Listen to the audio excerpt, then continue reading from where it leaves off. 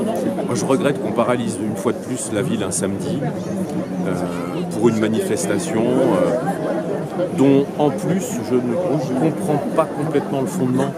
Parce que qu'on arrête le nucléaire ou qu'on l'arrête pas, de toute façon, il y a déjà cette question des déchets euh, de la filière nucléaire qui existe et il y a déjà le besoin de trouver des solutions. Le site de Bure, c'est avant tout un laboratoire pour essayer de regarder comment on peut au mieux traiter ces déchets. Euh, voilà. Et, c'est peut-être une.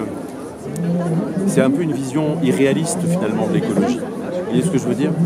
Qu'il y ait un débat sur le nucléaire, c'est normal. Qu'il faille en sortir, moi je le pense. Euh, après, à quel rythme, comment est-ce qu'on peut le faire? C'est quand même une énergie décarbonée. Si c'est pour la remplacer par du charbon, ça n'a pas de sens. Mais en tout cas, il y a un débat et une politique à conduire.